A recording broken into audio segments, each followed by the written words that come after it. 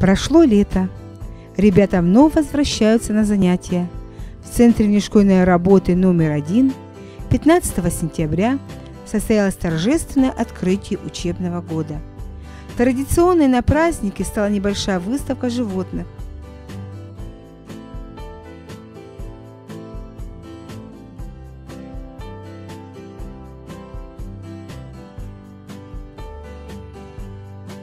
Воспитанники и волонтеры ассоциации приносят своих питомцев, животных, которых брали на каникулы к себе домой.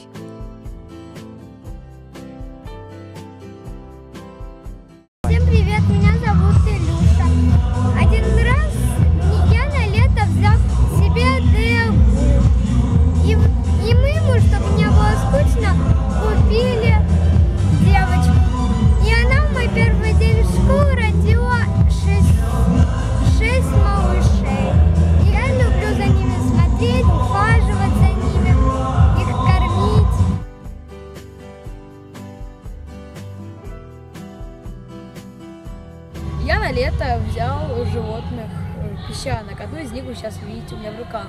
Ее зовут Пеппи. За ними не нужен сложный уход. Все чистая вода и еда. Они очень забавные и веселые, и очень-очень личные.